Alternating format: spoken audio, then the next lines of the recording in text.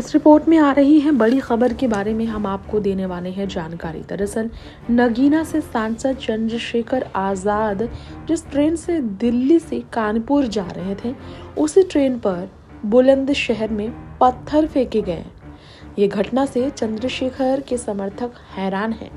एक पत्थर उनसे दो सीट आगे बैठी यात्री के पास वाले शीशे पर लगा भी, और वो चकनाचूर हुआ। इस घटना पर चंद्रशेखर ने हैरानी भी जताई है। क्या उन्हें पर हमला करने की ये साजिश थी? क्या आगाह किया गया है? जी हाँ बुलंदशहर ज़िले का कमालपुर स्टेशन पार किया जैसे ये ट्रेन ने।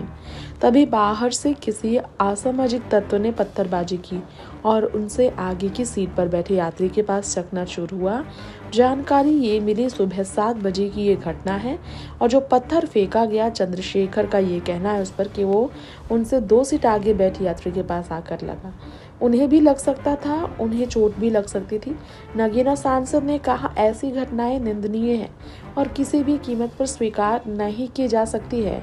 यात्रियों की सुरक्षा पर भी सवाल खड़ा किया गया। न सिर्फ़ केवल सरकारी संपत्ति को नुकसान हुआ, बल्कि यात्रियों को नुकसान के बारे में उन्होंने सवाल खड़े किए।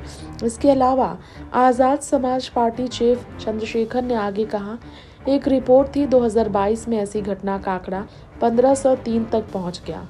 रेलवे को करोड़ों रुपए का नुकसान झेलना पड़ा है।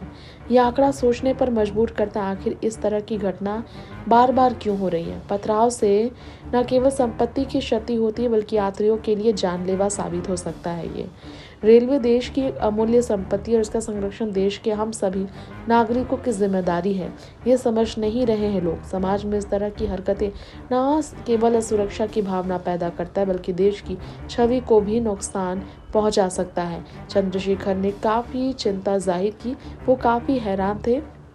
उन्होंने ये भी कहा, रेलवे पुलिस प्रशासन को सख्त कदम कदम उठाने चाहिए। केंद्रीय रेल मंत्री जी को भी उन्होंने आगाह किया और अपील करते हुए कहा, परिवार में माता पिता स्कूलों में अध्यापकों द्वारा बच्चों को इस विषय पर जागरूक करना आवश्यक है। नेक्स्ट नाइन न्यूज़ की रिपोर्ट।